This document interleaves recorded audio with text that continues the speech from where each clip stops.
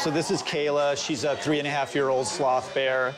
She lives at the Philadelphia Zoo, and the reason she's here today is that um, she stopped eating, started vomiting. We were worried enough that we thought we should bring her over here for some more advanced imaging uh, to rule out what, you know, whatever might be going on with her. Her temperature's okay as far as we know.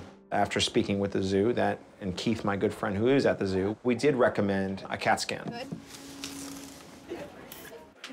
So the next step would be to inject the contrast. This is a contrast injector. It automatically injects the, the dye that's going to be um, enhancing all the vasculature. We're set. I'm going to scan all the way down to her hips. The CAT scan was an excellent choice for imaging. Let's look at the post-contrast, see if that helps. So here, in the pelvis of this bear, we see this object here that is very well defined. We were able to identify the form material quite quickly. Thank you very much. Join me, Keith. You're gonna come in, aren't you? Scrub in.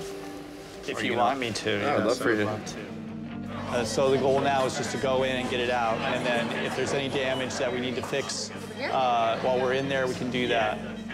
We were able to do a large incision that allowed us to actually exteriorize the intestines. Once the intestines were identified and exteriorized, we slowly, hand over hand, inspect them carefully. Here it is. Wow.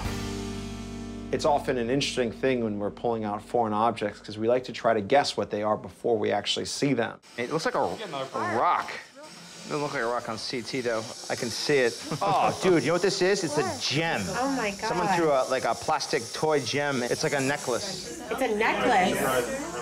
Oh my god.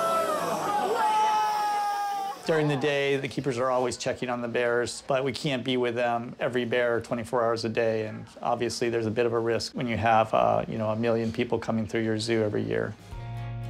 The good news is, is that she has done exceptionally well since surgery.